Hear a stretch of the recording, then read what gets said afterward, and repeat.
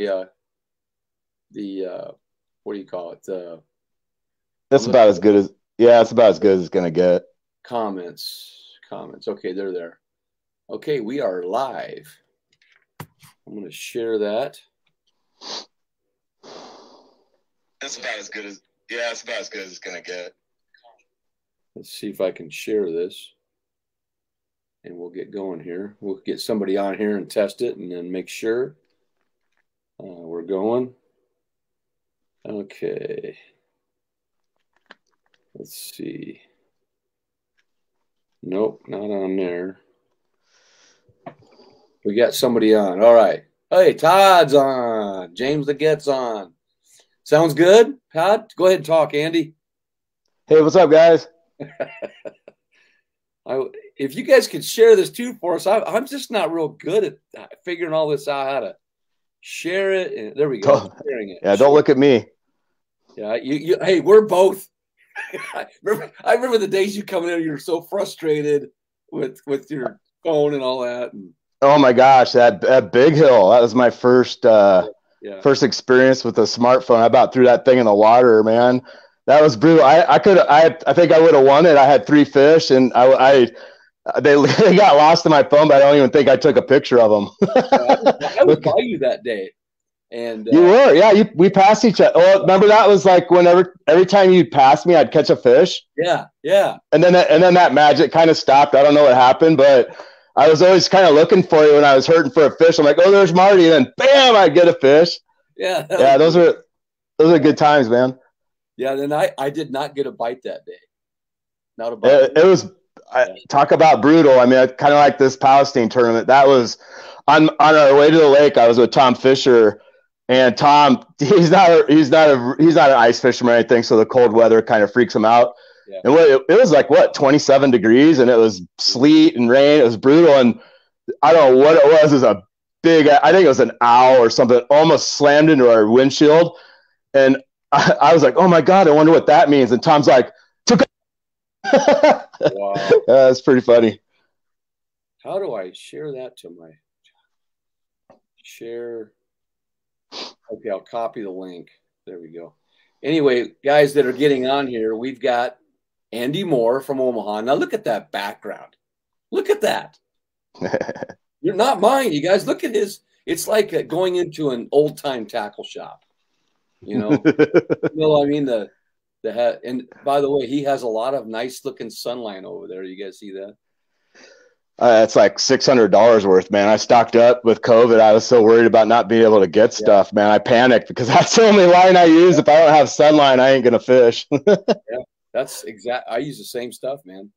uh, it's. I tell you what, man. It took me a long time to find the right fluoro. I tried them all. I mean, I tried Seaguar. I tried Yeah. P line. I tried everything, and I tell you what, like, not strength. Um, like P line, I'd have to like retie every five fish. You know, it'd break. This. I this this FC Super Sniper is the stuff. I mean, it is good, and I have tried every fluoro out there, and I I have I have hundred percent confident in that line, and that's that's the main thing. You know, if you're confident in your line, you're gonna fish better. You know, Absolutely. Bottom line. Same way I use uh, the the 16 pound, and I use everything from seven all the way up to to seven to is it 17?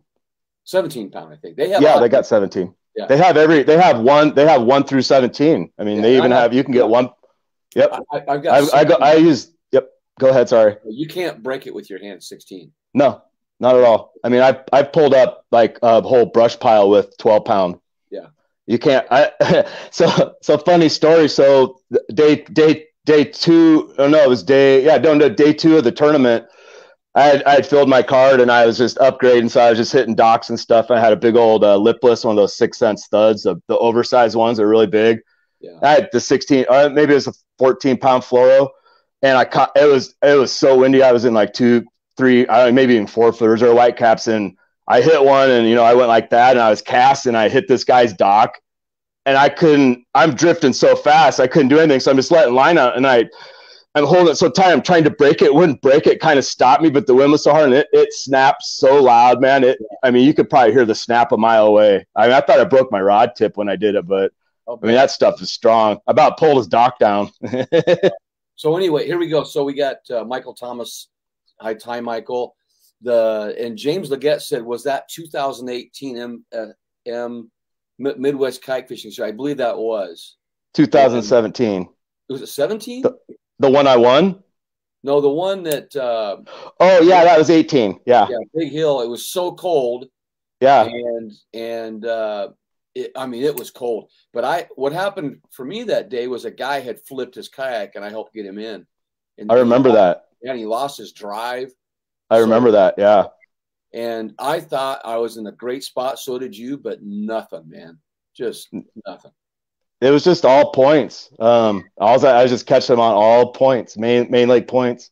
Yeah. But it was it was one of those grueling, you know, slow finessing things, man. But yeah, that yeah. I remember seeing James there. He was with Prescott, I believe, and then that's where I met David Cruz and Kevin. Kevin was staying with them all, and there was this little kid there. He was like like yeah. ten years old. I'm like, who's that? And Kevin's like, oh, that's Brady. yeah, Brady, so yeah, I, yeah, Brady was like what twelve when he started. It's like he that just was, tagged along with all of us. Yeah, and that was Maybe the four, first big MKFS. Yeah, that's that's when it that's when it switched to all bass. Yeah. Um, and it, that's when kind of Nate took it over, and it was. I mean, that was frick. I mean, we what we had a thousand dollar guarantee for every every tournament. Um, they had a good sponsor.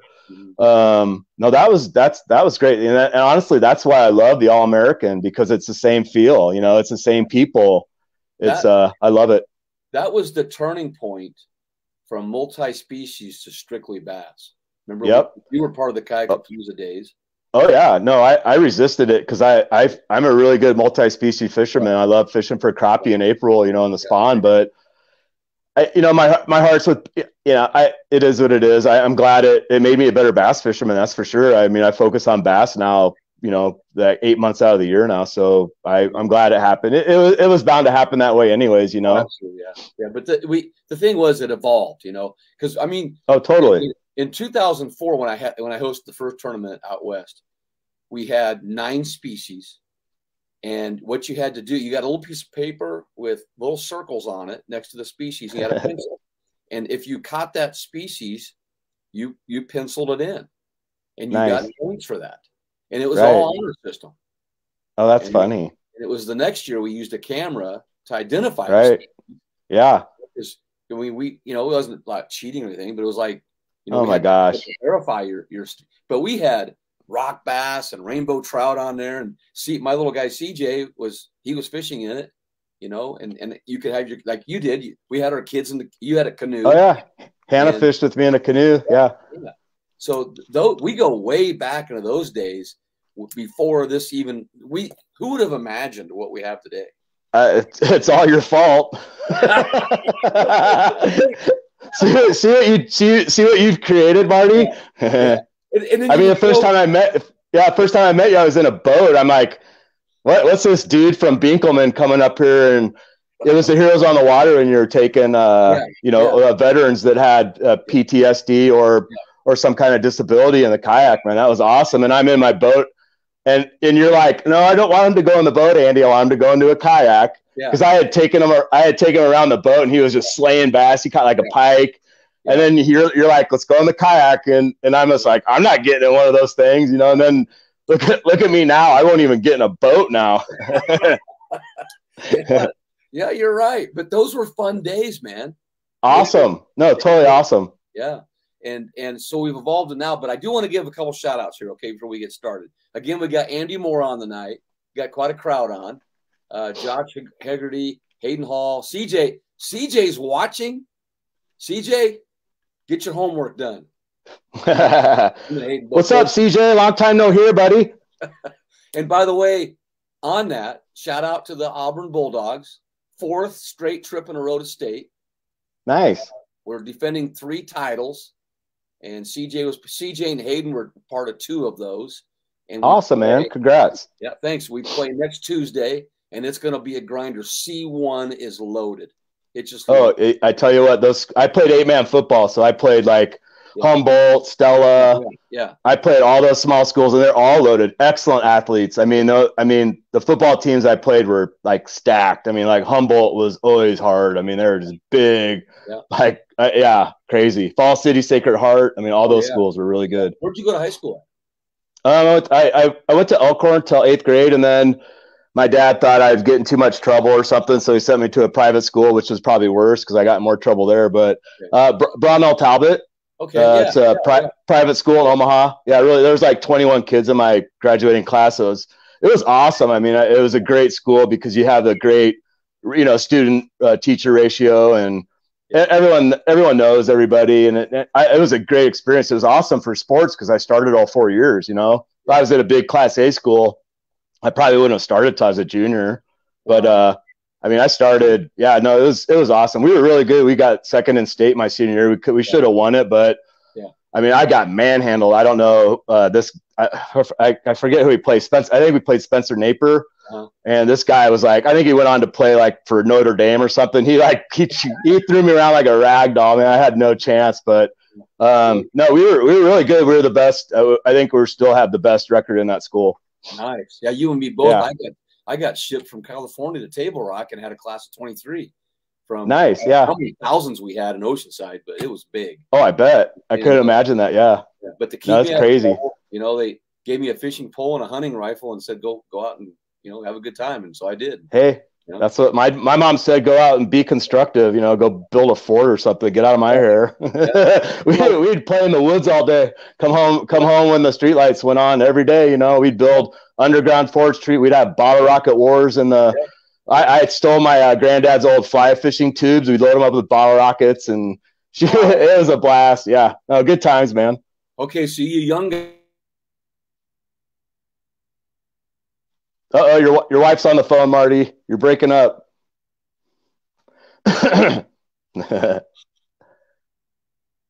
Marty froze. Marty got too old. He just he he just can't handle it anymore. come on. Oh, we froze up. You There you go. Okay. Yeah, I never left. I'm here. You Okay. left. So I'm going to give these shout outs here real quick. Mr. Oliver, Mr. Mark Oliver at, at Auburn High School, his birthday's today, and, and he loves talking fishing. And he's a history teacher at our school. I just wanted to say happy birthday to Mr. Oliver. Uh, former, Happy birthday, man. Yeah, and former state wrestling champion at one time, and he's a wrestling coach at our school. And then also, do you do the fantasy uh, kayak fishing thing? No. I do. I bet. This week, because I can't fish, so why not pick somebody else that's going to win? You know, Uh, yeah, it makes sense. I'm going to win. I'm just saying somebody's. I, I just wanted. I just like doing it anyway. I picked Eric Siddiqi and Drew Gregory this week, and they're sitting second and fourth in the. Oh, cool. Oh, you can like. Oh, it's the kayak, like us. Yeah, you bet on kayak. us. Oh. Yeah, there's all. I didn't know that. I thought you were doing like uh, MLF, like I, or you know, like Van Dam and those guys. Oh, we- Oh, that's have a little cool. You might even. I didn't know that. There's a lot of. Oh, cool. guys in here. You can pick me for five thousand bucks.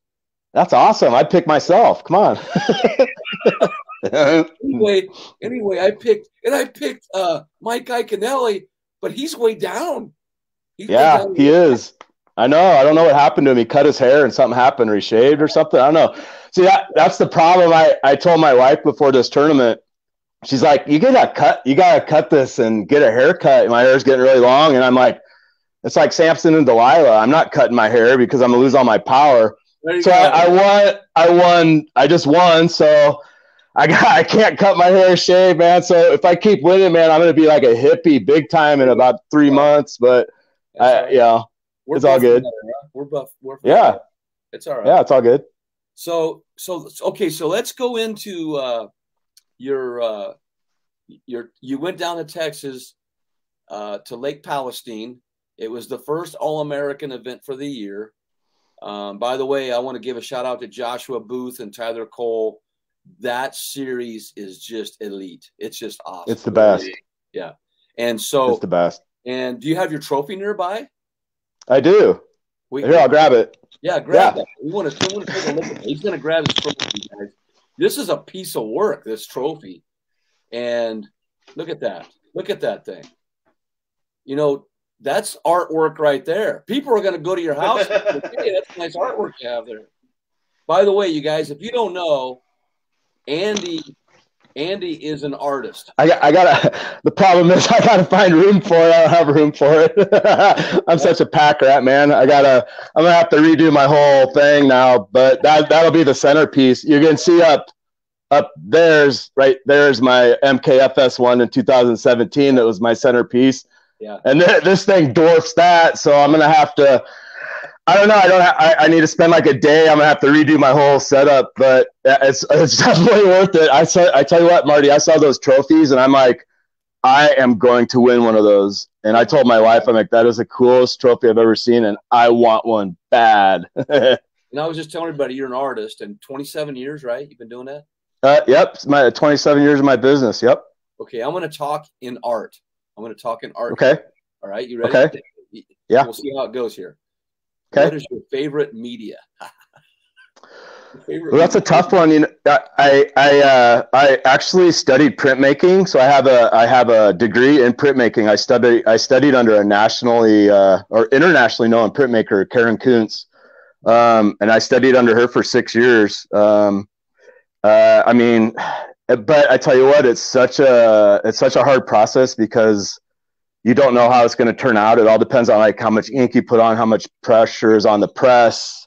Um, and I, I, wasn't really into surprises. I, I, mean, I liked them all, but then you know, my business is all uh, you know acrylic and oil, so I just gravitated towards that. So all my paintings now are all waterborne. You know, acrylics. I do do some oil. I'll throw some stain on them, and I use a lot of like shellac, like oil-based stuff uh, for effects. But anymore, it's all waterborne. You know, just the, the fumes in my business. I, I back in the day, I used a ton of oil, lacquers, and nasty stuff. Man, it was just killing me. You know.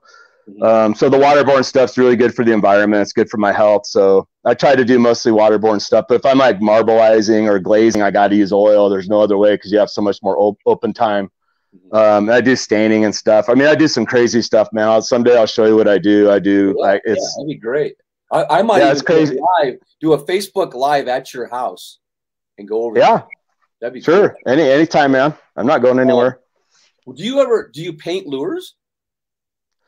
I have. My son keeps bothering me to do it, and I'm just like, I mean, I tie my own. Uh, I tie my own bucktails with underspins for wiper yeah, um, yeah. I actually used them at uh, Truman last year because all the shad, and I caught I caught quite a few bass on them. Um, but I see the thing is I'm not I'm not an airbrush guy. I'm a totally like hands-on pen and paper guy. So I, I pride myself on hand done work.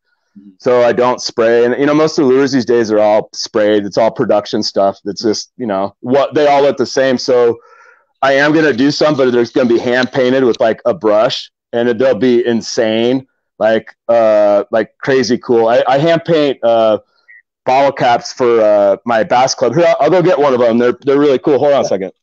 I'm going to answer a question. So Troy, uh, Troy Inky's asking asking uh, for going to Kentucky Lake here. He has his headphones off right now. But uh, and hey, welcome aboard, Yes, Andy does bring a crowd. Um, oh, that's cool. What? It, let me. See. Wow, that's painted on a bottle cap it's hard. It's hard. It's hard to see, but uh, cool. so I custom paint bottle caps for a club. Like we fish, we fish. The, uh, it's an Omaha Bass Club, and uh, we fish every Wednesday night in all the Omaha lakes. So I do. I'll do one for Flanagan, Prairie View, Wehrspann, Zorinsky every year, just like one. So it's a, called a custom cap. We'll have a custom cap night, and you know, we, I get I get a lot more people to fish because everybody wants one of my caps. So here you go. Um, they're cool. So here's mine. Where am I at here? Oh, nice. Oh, your poker chips. Yeah, yeah, yeah. Yeah, but I love know, those. I yeah. I did not paint. Oh no, that's obviously that's printed. those are for our uh, those are for our Monday night kids adult league this year. Oh, that's awesome! It gives them something to. Yeah, I love I love it. I mean, I love little. Yeah. I love little knickknacks. Obviously, look behind me. I mean, oh, yeah, I, I, I, love stuff like that, man. It's it's it makes it fun, you know. I just it just yeah. Uh, it's just it's a good time. So we'll get back. Troy Troy Inky was asking if you're going to Kentucky Lake. I am. Yes, sir. Cool. I'm not. But okay. if if if if my mental health does not improve, I may just leave. I think you need a break from those kids, man. summer summer's a long ways away. When's your next break? Spring break? No, you're, we, you're we are on spring break as of four o'clock this afternoon for me. I'm on spring. Oh, that's why you're that's why you're drunk. Yeah. yeah, no, drunk. But tomorrow though, tomorrow though, I'm speaking at a school in Omaha. Oh, cool. Here's the topic. I got invited to speak at an elementary school. Nice. Which which one? Uh, Blackfoot or Black Hawk or something like that. Uh, Black Elk.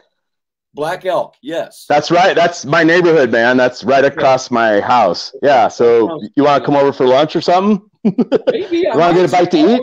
Yeah, let's get later. So give me a, give me a message. Huh? Give me a message. We'll go get a bite to eat, or I'll come say hi or something. Yeah. Yeah. Um. Anyway, I'm speaking on overfishing. Oh, cool. That's it's an ecology.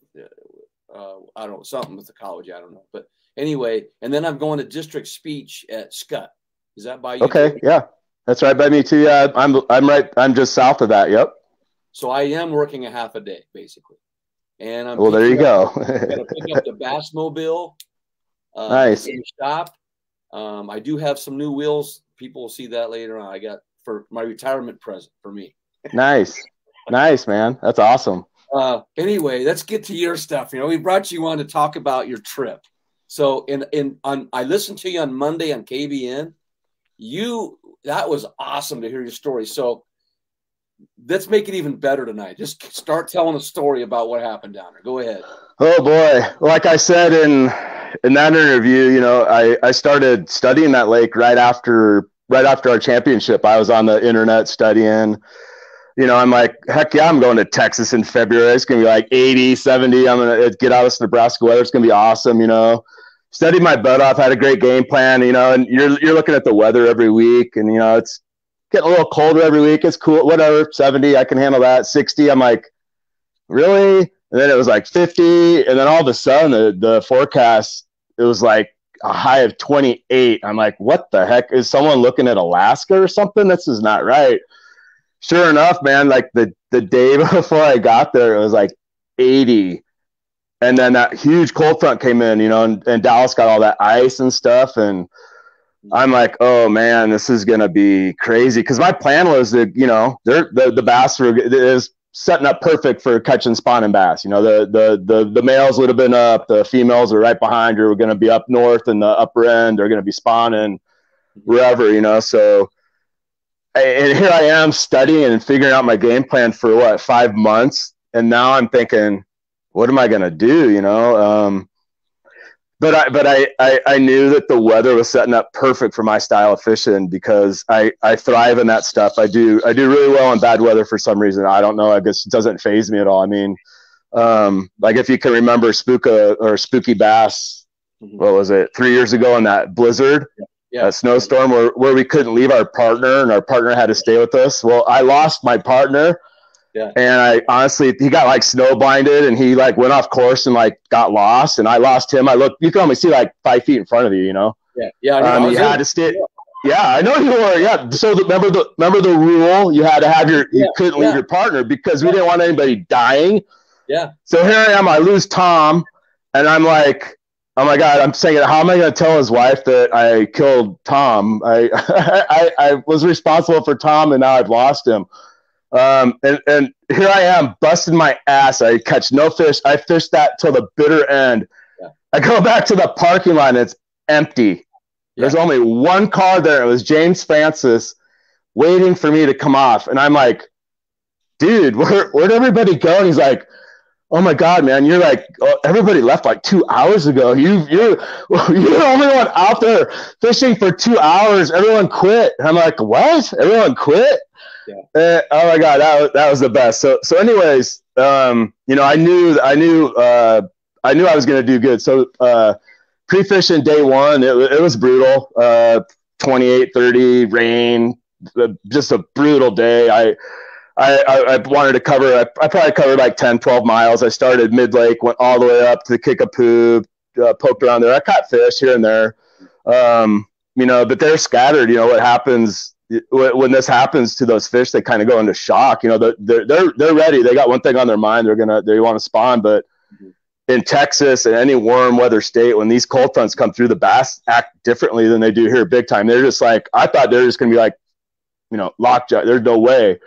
Um, so I, I did find I found some fish, but I wasn't real confident. I didn't have, I was like, this oh great, this is gonna not be good. I'm gonna have to try something else. And then I'm flying back, you know, home, and I slam into a stump so hard I almost fly off. I, I mean, you know how it is when you hit a stump going five miles per hour.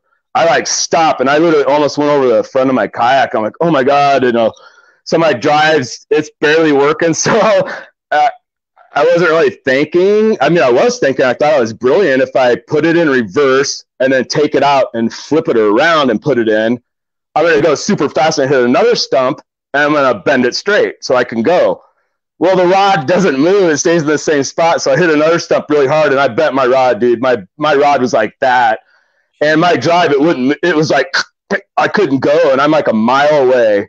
So I had a paddle, and I I just had the little emergency paddle. I didn't have like a real paddle, yeah. so I'm like a mile away. But luckily, I, I I always go in like when I pre-fish, I always try to go into the wind all day. So at the end of the day, it's an easier ride back, and I can just kind of coast back. So literally, I, I was paddling, I was paddling all the way back like a mile. It took me about an hour, but it was it was all good because I, I was kind of I needed a I needed a new plan for tomorrow pre-fishing and, and figure out what I'm gonna do because that that plan wasn't working. I didn't find what I wanted at all. I didn't find any grass.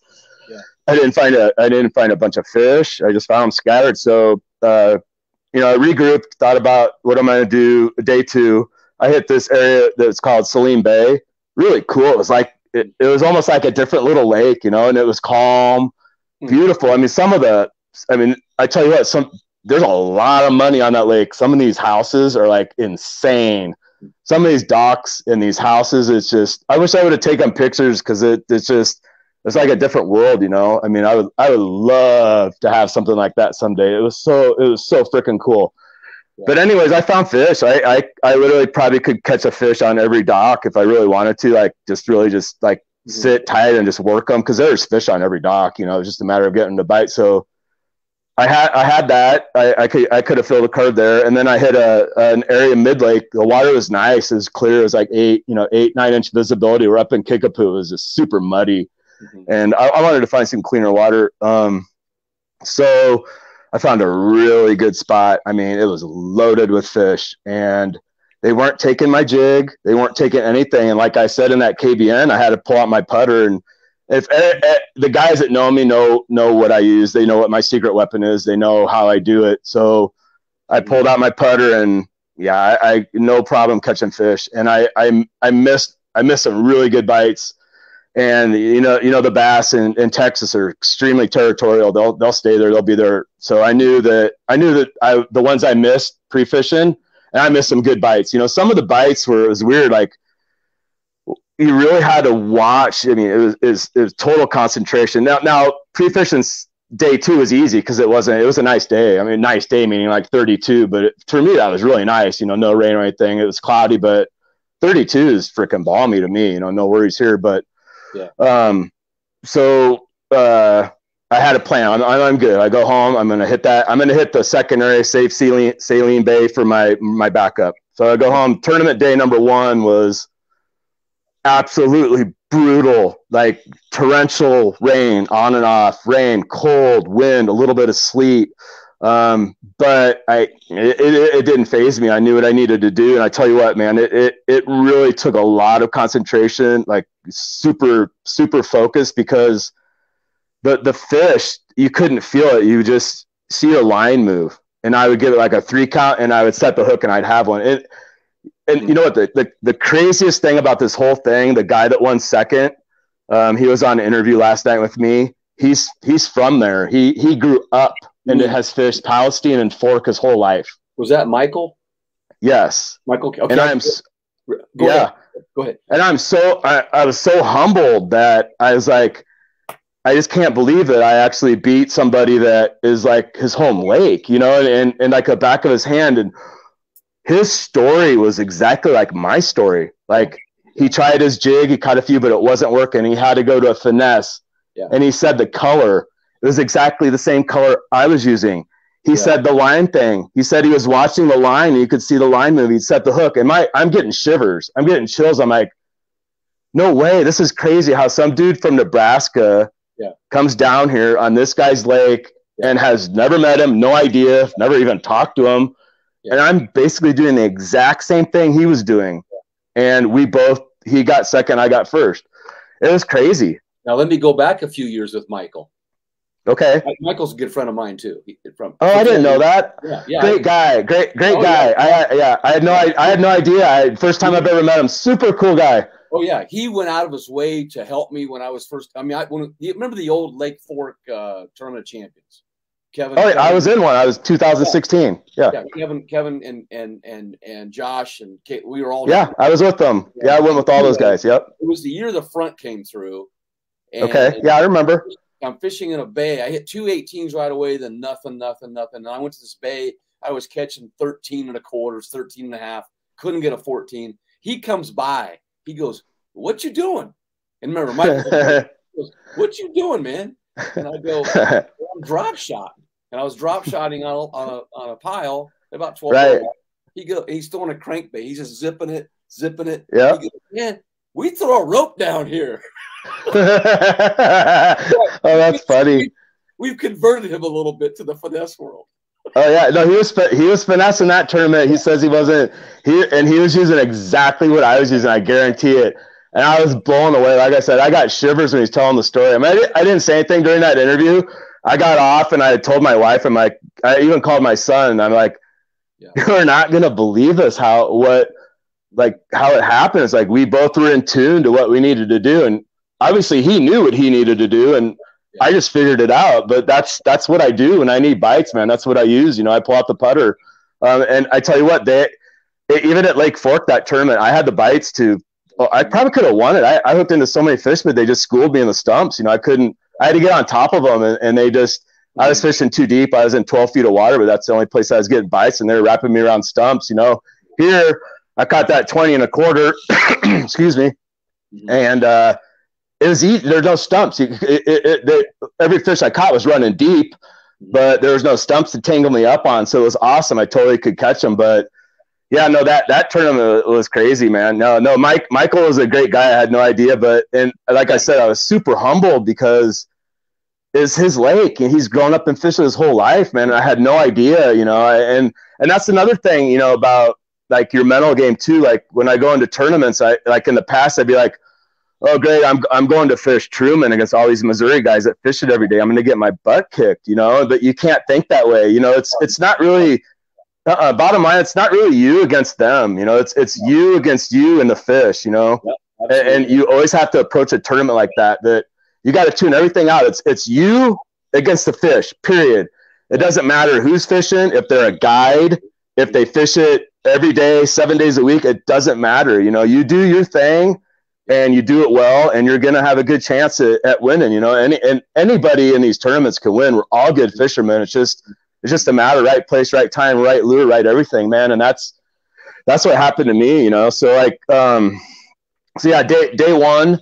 Uh, it, was, it was absolutely brutal, and I, I, I filled my card. I think by like uh, one o'clock, whatever, and that's when I kind of did an upgrade mission on the docks and caught a couple upgrades on a big a big lipless. Um, you know, went went home. I took my clothes off, and they literally weighed like I didn't even know. I mean, I was so wet, Marty. My clothes probably weighed like 15, 20 pounds. I'm not kidding you. I mean, I had probably six layers on because it was so cold, and then my wallet was wet. I was literally bone. I started kind of shivering when I got back to the hotel, and that that's not a good sign. You know, I know. I think there's a couple anglers that almost got hypothermia and they got off the water. Which you know, safety first always. If you're, It's not a big guy thing. Hey, I'm a big tough Andy. I can take it. You know, if I'm out there shivering, I'm coming in because I know that's when. That's when your body's telling you, you know, you're done. I'm, I'm trying to warm you up, Andy, and you need to get off because or get dry and then and then go back out. But I, I was cool all day. I wasn't shivering at all. I was just super focused. But so I, you know, after day one, I was I, I had a full card. I think there's only five of us that had a full card out of what like 55 guys. So I was like, cool, man. I'm I'm in good position for tomorrow. But Mhm. tomorrow it's going to be sunny and nice. And you know as well as I do, the guys that are fishing this are freaking good fishermen. You know, and they're gonna there's going to be some guys that are going to put up 100 inches tomorrow. I know it. And sure enough, like three, like Jordan Westerman, Brian Hillman, um, Desmond, uh, some other guy from Texas, I think his name's Desmond something. I think they all put up like 100 inches. And Brian Hillman, he only had four fish on uh, day one, and he put up five day two. And if he would have had five and five, he would have crushed everybody because he had like a huge score day two. But so you know, day two, I was I was a little nervous. You know, I mean, you know me. Like if you, you look at my past, I've done really well on day one. You know, I'm really good at, at one day tournaments. You know, but day two tournaments are a different beast. You gotta your strategy has to be completely different. You don't want to burn your spot. And and ironically, I fished this spot both days. I pounded it. I peppered the heck out of it, but mm-hmm. I there's tons of fish there, and I I missed a lot, and I know they weren't gonna move. You know. Yeah. Um. So so day two, I'm like you know, business as usual. I, I just treated it as another day. Like forget day one, you know. I, And it, I'm and I'm getting really better at submitting my fish on the water. I'm so glad I did because I had a lot of uh, family and friends that really enjoyed that. They like they they reached out to me and said, you know, that was the that was the funnest thing ever watching watching that. And I'm like, yeah, because uh, normally, I, you know me, I, I never used to submit fish yeah. on the yeah. water. I, I would be zero all day long.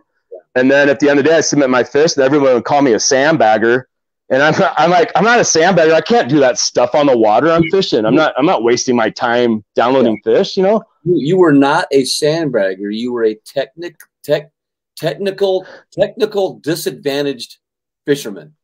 I was technically challenged. Yeah. There you go. Yeah, I just I swear to God, and if you like like who like Tom Fisher or whatever that would be with me at the end of the tournament, they needed to stay away from Andy yeah. Like he don't don't talk to him, don't look at him because he's gonna be a freak for about a half hour, going through all his pictures, yeah, trying to submit them. Oh, nightmare, dude. I swear to God, I'm so glad I do it now. It's so easy. Where why haven't I been doing this? I catch a fish, I download it, I'm done. You're in a pickup like this the whole time. I mean, yeah, you're in there. You didn't even look up. Oh, yeah. You're on your phone down nope. Yeah. Leave me alone. And then I have to come out and freak. I got to call the tournament director because I, I can't help. I can't download a fish. I'm running out of time. I got all my fish. Help me. And, you know, I, I think the tournament directors got tired of me calling. Like their phone ring. Oh, it's, oh, it's freaking Andy again. He's having problems. Little, little, you know, but I, I tell you what, man, I, I'm so glad I do it now. It's, yeah. it's really cool. You know, I, I never look at the leaderboard or anything, you know, and uh, quite honestly, it, you know, I, I, really didn't look a lot this this tournament either. I mean, I looked. I, I, won't lie. I did look like once, and I was like, "Oh my god, I'm in first. But yeah. you can't. You can't do that. You got to just put it out of your head, you know, because it do, it doesn't matter. You just you got to fish till the end and pretend you're in last place till the end. You got to fish hard, fish hard till it's done, man. Um, so I'm so glad. I was what was that? I was reading between the lines on that, and you were leading, and there were two guys that had zeros there, and I go, "They've got fish." The question is, does Andy have enough to stay ahead of them? Right. So that's that's a spectator's view of it. Going, you know, yeah. those guys had fish, but a lot of people looking at that board do not know that if they don't. Know they don't know that, right? But but we know that. Yeah. So like yeah. The, the the guy from Oklahoma, day one had eight eight inches, and as the day went on, he had zero, and he downloaded his fish kind of late. I'm like, he's gonna he's I'm gonna I'm not gonna win. You know, I was kind of thinking that, and then I'm like, catch and release. You know, that's that's what I do. It's kind of funny, like when you have negative thoughts, you got you catch and release them, just like fishing. Because you know me, your mind starts wandering wandering on the water, and you can't. As soon as you lose focus of fishing, it, it, it you can't. It, you're not gonna do good. So. I'll, I'll take those thoughts and I'll catch them in my hand and I'll throw them away and release them. And that really helps me to get back in focus. But yeah, man, I, I, I knew that that guy could have like crushed me, and I, I, I would say I was getting a little worried, but I, I was, I, you know, day two, you know, I was like, I had my three fish, I think by noon, and uh, I, I was saying to myself, if I can't catch two more fish in five hours, I, you know what, suck. but uh, I did. So yeah, so um, it's kind of like this, Andy you think about this, you know, as far as the focus goes, I thought about this and I, I don't know how, how you want to relate it, but you know, like the Indy 500, they're going in circles and circles and circles, and they're focused, and, and and the guys that stay focused stay in the lead, and then you have a few guys that spin out. Well, it's the same exact thing in these tournaments where you have to stay focused and not, and and you'll see guys spin out, and they'll just, oh yeah, and they'll they'll load up or or whatever. You see it all the time, man just that's that's just what happened to him that day. Uh, you, you know? see it all the time. I, I have seen it, and I honestly I, I have never. I, I fish till the end. You know, I've never ever, I never give up. You know, but uh, you know, you can't. I, you don't. I don't want to like harp or come down on anybody that stops early because everybody's different. Everybody's destiny. Everybody's destiny is different. I don't know what's going on in their life. Maybe they got. Maybe they're in a bad place and they got yeah. issues going on or whatever, and they they, yeah. you know, spun out. You know, but. Mm-hmm. Um, it, it, happens, man, all the time. I see it all the time. In this tournament, I think a lot of people that that on on day one it was so brutal. I, I, I know a ton of people left early and quit. I, I hate saying quit because yeah, they're not really quitting. They're they're and they're not really giving up. I think they're just like maybe regrouping or I can't handle it anymore. I'm not a quitter. You know, some of them feel so bad that they are, you know, but you, you got to do what you got to do. If you don't feel safe out there, you know, get off the water. We don't want anybody dying out there. You know, it's not, it's just, it's just fishing, you know, it's just, it's just fishing. Don't, you know, I, I hate saying when people quit because mm-hmm you know it's it's but yeah man that, that i tell you what day one it spun a lot of people out for sure mm-hmm. so so go to day two now what happened day two so so day two like i said i was i was a little nervous because i knew the weather was going to be nice day one was my ball game day one i thrive in that weather it doesn't faze me i always do well in really bad weather um, I, I love fishing in bad weather. I embrace it. You know me, I'm a huge ice fisherman, man. I love going out and just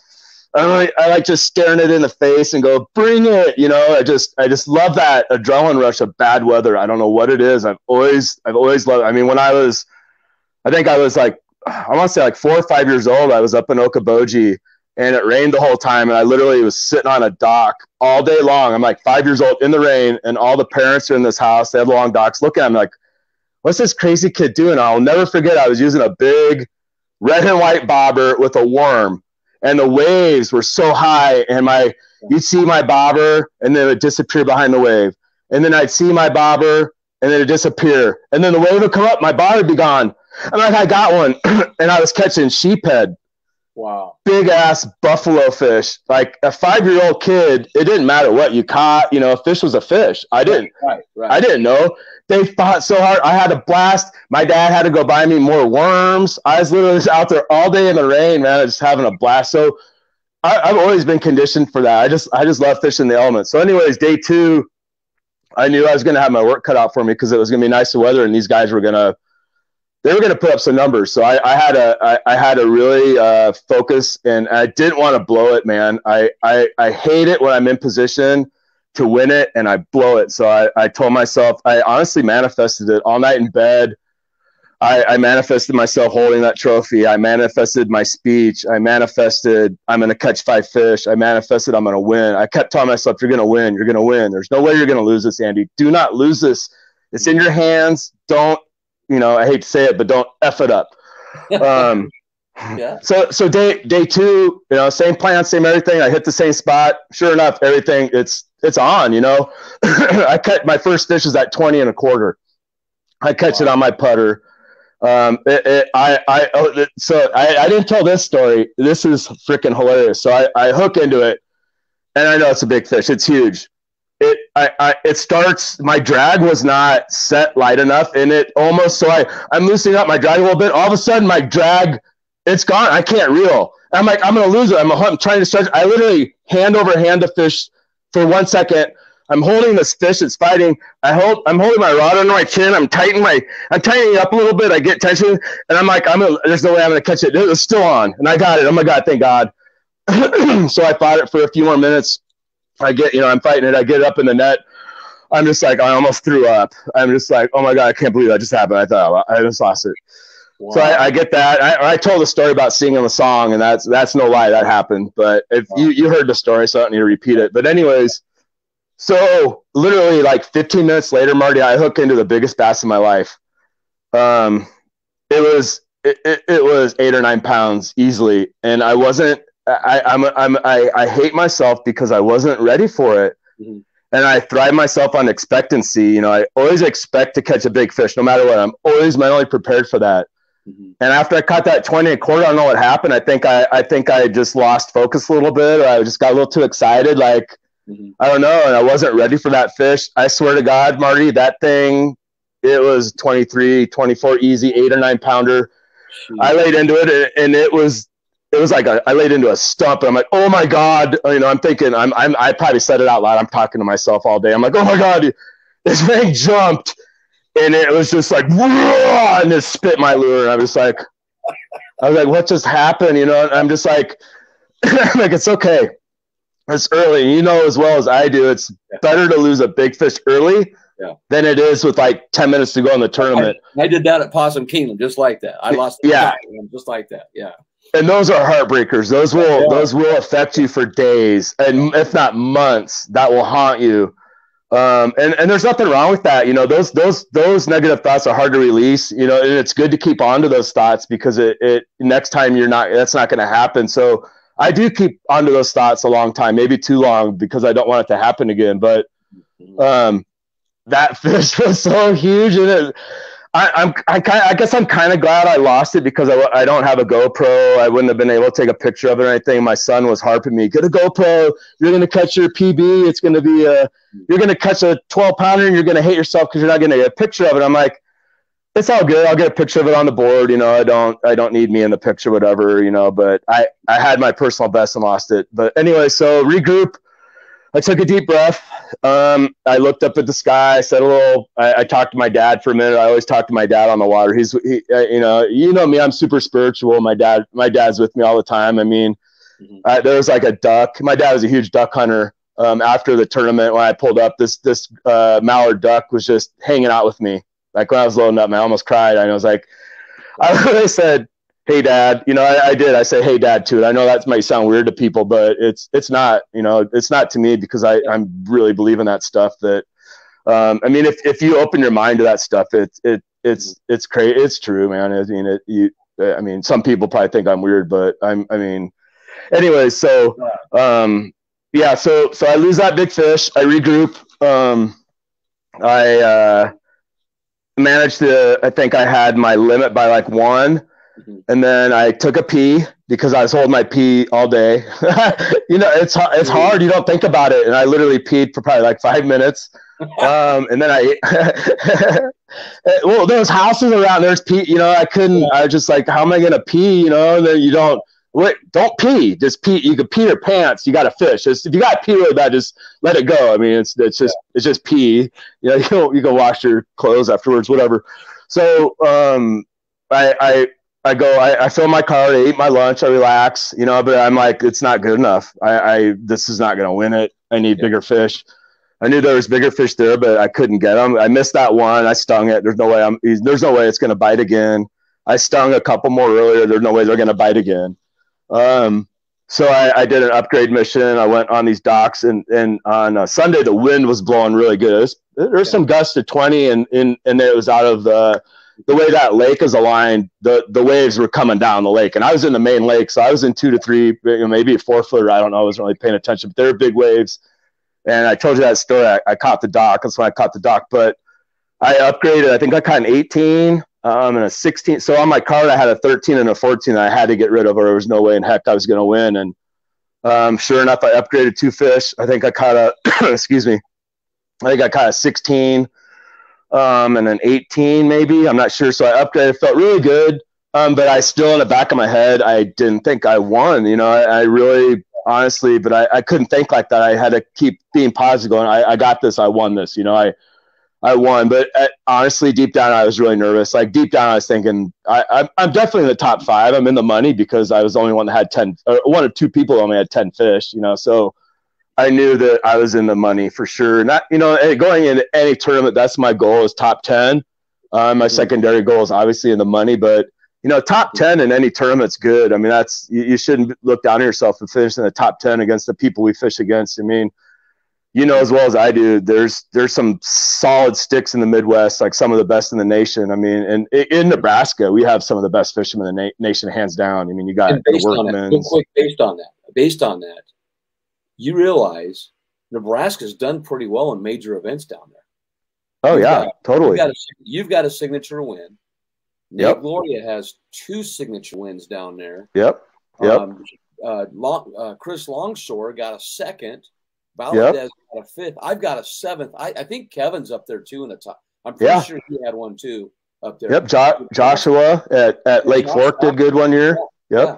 So um, we've all got, and then and then uh, last year James and and Christine and I all finished in the money at the Bassmaster Classic down there. That's right. You guys represented really well, but you had a couple of Missouri guys on your team, didn't you? Well, that was that was. Uh, yeah, that doesn't that doesn't count then. Yeah, I'm, kid- I'm kidding. Other, that was Louisiana, the other one that we did well.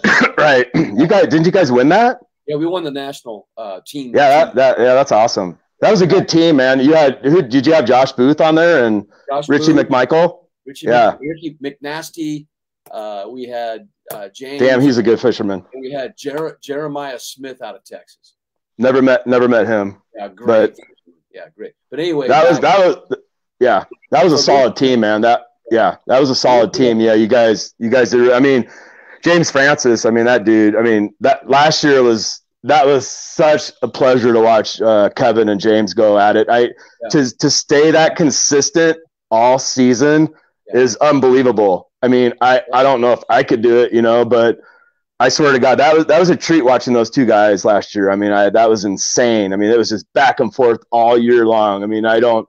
I, I'm so happy for Kevin because you know he had he had a bad couple years. You know, he wasn't he wasn't in the right place mentally. I I don't think. I don't know what was going on with him, but that that dude's the, one of the best fishermen I've ever met or known. You know, and I was going to say earlier, but, I, I fished alongside both of you at times. You are two of the most patient fishermen anglers that I've ever been around, and that's totally successful. You you yeah. you will sit there and barely tweak that thing, and yep. same with Kevin. He's got that. He's got that lean. Mm-hmm. He's got that lean. no, no, I, I, and Kevin and I, uh, we've had a lot of conver- You know, we've we've we've fished together a lot. You know, we've we've traveled a lot. I mean, we've we've. I, I love Kevin. He's he's the. I swear, he's got a heart of gold. He's one of the nicest guys I've ever met. But um, you know, we've talked about that, like the subtleties of of what we do, and and and visualizing. you know, a lot of people don't do this. I I visualize my lure under the water, what it's doing. Oh, absolutely. You know, I yeah, I, I mean, I'm, I'm, I'm, I can see my lure in the water and every little, you know, and I have an aquarium in here, and I, I practice in my aquarium all the time. I put every lure in my aquarium to see how it works, see the see the subtleties of the lure, see how the different weights of the heads work on the different plastics, mm-hmm. seeing how line the different weight of line makes uh, manipulates the lure. I mean, it, it all matters, you know. And in this tournament, it mattered I swear to God, it mattered big time because they they like they I was hypnotizing them because my the fall on my lure was like,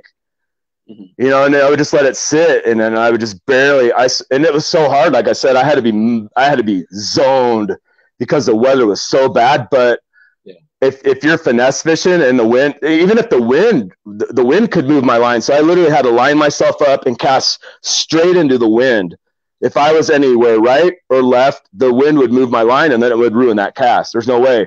And there were some times where I had a cast over my head with the wind and I was literally fishing like this behind my back. Mm-hmm. And I caught fish like that because, you know, I, my, I'm falling apart. My shoulders, my backs. I mean, I couldn't, you know how, you know, how you're fishing behind you and you got to go like that. It just, it kills me. So I was doing that, but no, I mean, Kevin, Kevin and I, we've had some pretty in-depth conversations on, on the subtleties of, of fishing and everything. So yeah, we, yeah, he he gets it, and and and and the the cool thing about Kevin, he's so versatile, you know, and I I pride myself on that too. I don't I don't just do one thing; I can do it all, you know, and that's that's that's hard, you know, to to do it all. You know, some guys are known for one thing, you know, maybe two things, but I mean, I can do it all. But I'm I am I guess my forte would be finesse fishing. Like I'm really I'm really good at that just because of the patience, the the mental focus, and the subtleties of it. And like you were saying about the subtleties like I'll be on the edge where the water's clear in a lake. You know how it's really clear on the edges, and I'll yeah. take my lure before I cast it, and I'll I'll dink it along there to see what it looks like. Always, always. And then I always, always do that at the boat ramp. Always at the boat ramp before I go in. And I'm always looking at. So like this tournament is pretty cool. I always uh always walk around the boat ramp. Always look for crawdads. So on this boat ramp, you, there's tons of lures. Like there's tons of plastics, you know, from all the boat guys, and I was looking at what colors. And a lot of them were using, a lot of them were the same colors, and I was using the same colors. So I kind of knew there, and a lot of them were a lot of craw, you know, a lot of a lot of creature baits, a lot of stick baits and stuff. And then I was looking for crawdads. The crawdads weren't out. I think it was really cold, but yeah. I'm always looking for uh, for uh, bird poop uh, mm-hmm. see what the bird what they're pooping out because a lot of times they'll there'll be crawdads in there and and that's key. Once if you if you oh, find yeah. a crawdad, the color of the crawdad, and you match that, your your money. Absolutely. You know, a lot of times. Yep. Yeah. Thing. A, I lo- take a lot of time. Yep. A lot of times I'm guessing. Yep. And you can always, I mean, it's, you can always guess, you know, and sometimes fish will hit anything, but sometimes it does matter. You know, you got to match the hatch. And I'm always, I'm always looking for crawdads, always looking for uh, stuff on the boat ramp anywhere I fish before I fish, just to get, you know, you got to, you got to, you got to do it all, man. You know, it's not just showing up and fishing. You have to, you really have to do it all. You have to see what, see what they're, what, what's out there, what people are using. Uh, I mean, it's, it's not, it's, it's pretty complicated, you know, and you know that as well as I do. You know, if you really get into it, it's, it's, it's not easy. It's super complicated. You really have to pay attention to everything, all the signs, the birds, the, uh, what's going on out above you. You know, you have to pay attention to everything. You know, uh, one minute the fish aren't biting, the next minute there's a bunch of shadow over there, there's birds, and all the fish are going nuts. You better be better have your eyes open, you know, and pay attention. Yeah, you betcha. Okay, got a couple questions here for you, and of course you end up getting first in the tournament, and that felt good. I, you know what I and, I and I know you're a very humble guy, very humble. There's no doubt in my mind, and everybody knows that. But when you when you offered, you you you you get there's all these guys there, and they stayed for the ceremony, and they're probably frozen and you know worn out. And you said, "Hey guys, you know what? For everybody that's here, we're gonna have a drawing, and somebody's gonna get three hundred dollars to kind of take care of their expenses." I thought that was the coolest gesture, man. Just so you know, and and I really got I got emotional on that because I was like, man, that's what it's about right there. That's cool. That's so Yeah. cool, you know. Thank you, man. yeah, you Yeah, I uh really neat. Yeah. Thank you. Yeah, I uh I don't know, I just I was sitting there and uh it might have been more motivation for me to win because I was sitting there day two. And I'm like, I'm, Yeah. I talk to myself. You know, I, everybody knows that I talk to myself all day on the water. I sing. You know, I'm I'm a drummer, so I, I'm tone deaf, so I don't sing in public. My brother, my brother's a, a musician too. He plays piano and sings. He's a pretty good singer, and I don't even dare sing around him because he'll be like, "Dude, you're off. You don't don't even sing. You you suck at singing." But I love I love singing, so I sing by myself on the water. Nobody cares. Fish don't care. Birds don't care. You know, they enjoy it. Fish love it because I get bites when I'm singing. But um, yeah, so I, I was sitting out there thinking, I'm like, you know what? When I I didn't say if, I said when I win. Yeah. When I win, I will donate some of this money to somebody. You know, it, it, it's it's tough right now, Marty. You know, gas gas is high. Yeah. The COVID people people are hurting. People don't have money. Um, you know, I, I, I'm in a good place right now. I'm in a good place mentally. I'm I'm doing okay. You know, I had a good year in my business. I, I could I, I was able to do it. Mhm. Um, and I, I was saying to myself on the water, I, I promised myself when I win, I will donate some of this money. I didn't know how much. I didn't really thought about it. You know, I was two, three hundred, four hundred bucks probably would have been a pretty cool. You know, a lot of these younger guys. You know, I, I remember when I, you know, when I started like 2013, 14, my kids were younger, and I was hurt, man. I paycheck to paycheck. I some of these tournaments, Mhm. I couldn't go because I didn't have money. Um, you know, I had to sleep in my truck. Um, I had to flip over cushions for change just to get gas money to go. You know, borrowing money, borrowing stuff for lures. I mean, it it sucked. It was a grind, but I, I was going to do anything to to do what I love. You know, and. So yeah, I'm in a, I'm in a pretty good place right now. I can afford to do it, and I can afford to take off the time to do it. So I'm just thinking, you know, like, I'm going to just pay it forward. You know, and it, it was pretty funny. Uh, I I told Tyler that, and Tyler's like, "Yeah, let's do it." So we drew randomly drew a number, and it was Michael, the guy that got second. And he was like, "Yeah," he was like, well, "I don't need the money," you know. And then Yeah, know, so yeah. we drew, yeah. So so we drew another number, and uh, it was uh, somebody that wasn't there, and I'm like. Uh, no, I want I want it to be somebody here that somebody that actually stayed for the award cem- ceremony. So I, I, I get it. You know, I, I understand. I, I've had to leave maybe once, uh, but I always pride myself on staying for every ceremony and shaking everybody's hand. I think that's what it's all about. But I totally understand if you got to go home. I mean, you know, it's a long drive. You got kids, you got obligations, you got family. You've been gone from your wife and your kids for four days. You know, get your butt home. It's all good. You know, I get it. But I just wanted to reward somebody that actually stayed. I mean, not many people stayed. There's only like probably 12 or 15 people at the award ceremony, and it's kind of anticlimactic for me. But mm-hmm. I mean, I didn't care. I mean, whatever. There's there, Jordan Westerman was there, Brady was there. I, you know, those were really the only two guys I knew. So we chatted. I mean, I, I love those. I love Jordan. He's he's such a good fisherman too, man. He struggled day one, but he really brought it day two, and you know, he's he's a good guy. Yeah. But uh, Who won? so Who won? uh, I, I, I, I'm gonna probably keep. You'll find out eventually. But so, Oh, so Hollis, how the story. I'll, I'll, tell you. Oh, maybe I won't. I don't know if I want to.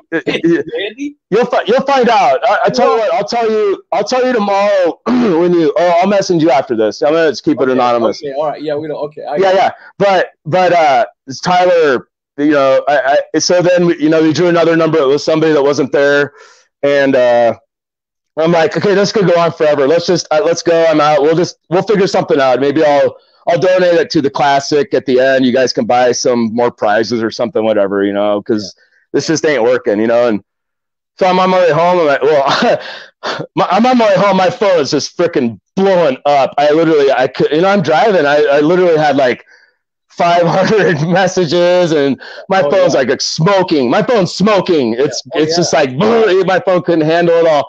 So I, I couldn't look at my phone. I'm driving. I got I got to get home. You know, I'm going through Muskogee and like some pretty redneck places. You know, and I kind of have to be on high alert. And I did run into. I had to pee a couple times, man. And I went into this one gas station. I was like, I I never get scared. And I was there was a couple, you know, maybe some meth going on. I don't know, but I I literally came out of the one, and there was this. I felt horrible for her. I felt so bad. She wanted to ride so bad, and I just looked at her. and I'm like I, I, felt horrible, man. I, I, just said, I'm, I'm so sorry. I can't help you. God bless you. You know, you will, you will find your right path. And I, I left. I, I just, I felt horrible. But, anyways, um, so my phone's blowing up, and I, I stopped, and I had to look at a few, you know, and I literally had like a hundred messages. So I'm just like, uh, crap. So one was from Tyler, and Tyler was like, "Hey, I, I got somebody. I got somebody that could really use it. That was in this tournament that I, I know they're hurting." Oh wow! So I'm like, yeah, that's cool. So I, I messaged the person, and the person was like, "Oh my God, you do not believe how much I needed that. I, I cannot thank you enough." You know, and, and that that gave me chills. You know, I that's that's why I did it. I knew that there was somebody out there that would really impact and really needed it. You know, more more than I needed it. You know, I mean. Yeah. I, this money's just sitting in my PayPal. I'm going to use it to for my registrations for I don't know. I might I might buy a new reel and rod. I don't know. I mean, the, the thing is with me, I, have learned in life because I've I've been broke so many times and I've struggled so much that I don't really buy things I want. Mm-hmm. I buy things I need. Mm-hmm. Um, so I mean, there's there's so many things I want, but do I really need it? No, I don't. I don't need it. So I'm gonna probably sit on that money for to use for you know travel, gas, hotels, and stuff. So this person really needed it, man, and I, I actually gave him an extra hundred you know, and they were they were blown away. And, and I honestly reached out to him. I said, hey, you know what? If you're if you're ever hurting, man, I don't want you to starve. Please reach out to me. You can pay me back yeah. down the road in life when you're doing good. Because I've been there. I've I've had to borrow money and I've I've had to pay people back. You know, and and I, it's I don't know in life it's things you experience in life. It's kind of cool when you're you get beyond that and you can help people out like people helped you out when you were younger, you know, and I'm blessed, you know, I, I'm, I'm, I'm really blessed right now. All's good in my life. You know, my, my wife and I are awesome and my kids and my business. So it's all, it's all good right now. So no, I, I'm, I, I was in the position to do it, man. And I'm, and it makes you feel good, you know, it makes you feel really good when you give, you know, and, yeah. I've been giving a lot lately, and I, I tell you what, it, it makes you feel really, really good. And like you, man, you're giving your gift every day, man. And I, I'm I'm you know that's i'm i'm humbled to know you because you you've impacted so many people in this world not not only in the kayak community but in in these kids you know you're you're such a good role model you know you got so many kids fishing and loving fishing and you're such a good guy and they they it's contagious you know and i'm and there's so much negativity in the world there's so many a-holes out there that you know i'm, I'm trying to kill it with kindness you know and yeah. and I hope people see see that, and you know, more, more people do what you and I do. You know, like we're we're cool people, we're kind, we don't have a mean bone in our body. I mean, I I do I can I can get mean if I have to, but I I try to restrain that. But um, yeah, man, it's I, I felt really good, and, and I'm glad I did it because it, it changed somebody's destiny. Yeah. That's awesome, man. So, okay, so we got a couple stories, and I, uh, I, I want to tell you though on that you know we do we face incredible challenges every day and believe me I, you know I, I, we talked before about you know i'm a principal in a, in a pretty big school yeah just the stuff that happens you know you're around people things happen and but at the same time you know you try to help people help themselves in a way too but yesterday, yeah, you can't you can't enable them. You can't yeah, like completely. Yeah, right. you, know, you you you can you can give them a little like you know kick in the butt or a little like yeah, yeah. a little push in the right direction. Yeah, that's kind of it's it's assisted. You're assisting them a little bit. But you're totally, making, yeah. You're making them earn it though as they do it. You, have to earn it, or you'll, or you you never will. You'll, you'll just want to hand down the rest of your life. Totally. So I, I do want to tell you a story. And Those that are still out there, we, have been going a while, but you know, that's okay. People love this stuff, man. I want to hear these stories. You know. Um, yeah. You know, uh, yesterday I got to witness something, and it was just, I mean, like I felt like the devil was attacking me the entire day. You know, like everything. and then I got this message. It said, "Hey, Marty, will you come to the courthouse and and witness um, our two kids that we're going to have guardianship for them, basically adopting them. And these oh, are two nice. kids in our, in our fishing club, and they lost both their parents here a couple years ago to cancer. And they they asked me to go witness this in the courthouse. And I'm like, I and so I'm at a meeting and I asked permission, can I just leave and go? I go in there and it was the most incredible moment I've had in a lot of years, mostly because I went through the same thing. Right. You know? And I knew it. Yeah. And I and no and those two parents, and the judge the judge said this. He goes, you know, guys, this is one of those times we, I don't get to have this this moment very this happy moment very often as a judge. And he was talking about how happy he was for these kids. But both these parents, he asked them, he said, So why do you want to do this? And they said, Because we promised their parents we would do this for them. You know, nice. and, and I was like in tears back there and, and just the emotion and and they've got they you know they've got eight there's a lot of kids in the family let's put that way. And and uh, to see that happen and to know these guys have a warm bed at night that yeah. they're in a home and just and someday we'll talk about their success stories. It's just a, it, it's phenomenal what these kids have done. But also that's awesome man. that that to me was one of the most incredible moments. So it's how you and like for you with that deal you had that's what that's what this sport is about. And yeah. and and believe me, I fall short all the time because sometimes I we all do. yeah, and and but then I have to re reboot myself and go, hey man, no, that's not go there. And so the thing is, is always being a lookout for somebody in need. They're out there. Yep. You know, always.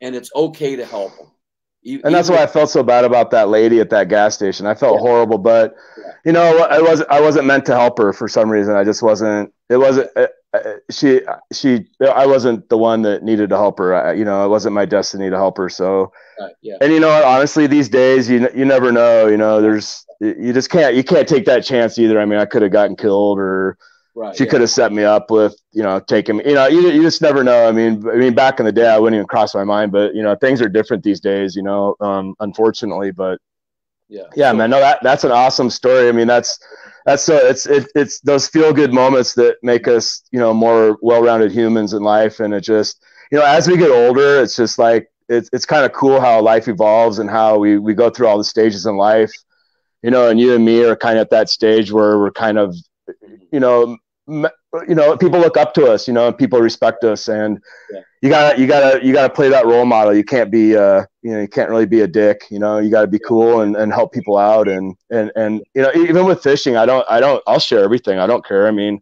yeah. um, i'll help you. You know you still have to catch the fish but you know i'll, I'll get i'll steer in the right direction but i am gonna make you do some of the work. I'm gonna make you do some studying because that makes you a better fisherman you know? Absolutely. Um it, yeah. So here here's a couple questions uh, one is, did your areas have much bass boat pressure or maybe kayak pressure in that area? oh, oh, funny. So yeah, uh, day one, a 60 boat uh, bass tournament launched at my wow. ramp, and you know, um, yeah. So I was, I, th- th- this is crazy. I haven't told this story yet. So um, we we always launch before the boats. Always. Yeah, right. You know what I mean? Boats boats launch at safe light. We always launch a half hour before safe light to give us that advantage to get to yeah. the spots before the boats can because we can only go five miles per hour and they can go 80. Mm-hmm. So we're, we're, we're granted that, that advantage uh, for obvious reasons. So this tournament, because it was so cold, Joshua decided to up the start time, launch time to 730 lines in at 8 mm-hmm. So I pull up to this boat ramp having no idea, and it is packed with boats. And I'm like, oh no, I'm like, my spot's toast. I go, I talk to a few guys. I'm like, what's going on? You know, they're like, yeah, we're launching. And like, when's your launch? Like, we we we can launch whenever. When you done? We're done at three. I'm like, uh, crap. You know, my my, and I I have like an hour and a half, and I'm watching these guys pound my spot. Three or four boats were just peppering my spot, and I'm just like, this sucks. I'm gonna have to go somewhere else. You know. But then I'm like thinking, I'm like wait a minute, these guys aren't throwing what I'm throwing. They're throwing like A rigs and big baits. I'm I'm watching them, and they're they're they have they're they're doing the you know the Ben Milliken thing where they're up there watching their Panoptix and throwing A rigs. Mm-hmm. Um, and they some are there for five minutes and they leave. I'm like, oh, thank God.